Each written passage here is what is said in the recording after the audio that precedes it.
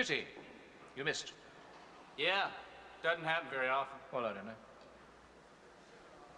It happened with Samantha Chesbro, didn't it? Well, uh, I'm afraid you have me at a disadvantage, Mr. Uh, McCall. and uh, Sam Chesbro. My client, Mr. Parrish. Oh, I don't talk to lawyers.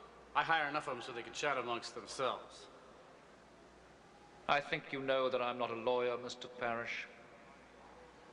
Well, didn't you uh, say you had a client? Indeed. The aforementioned Sam Chesbro. Yeah. Uh-huh. Okay. And uh, what does he want? She. Sam. As in Samantha. Sam.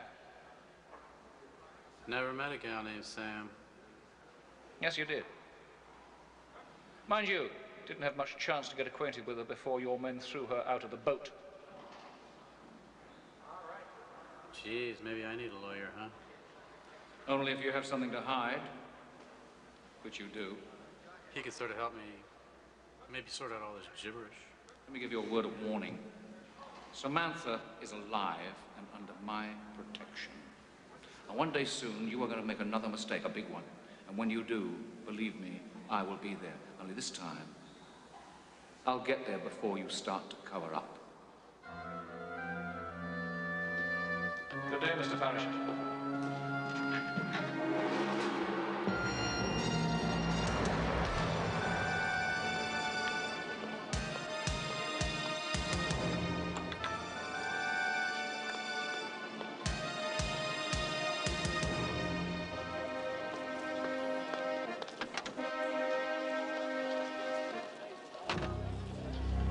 Snug as a bug.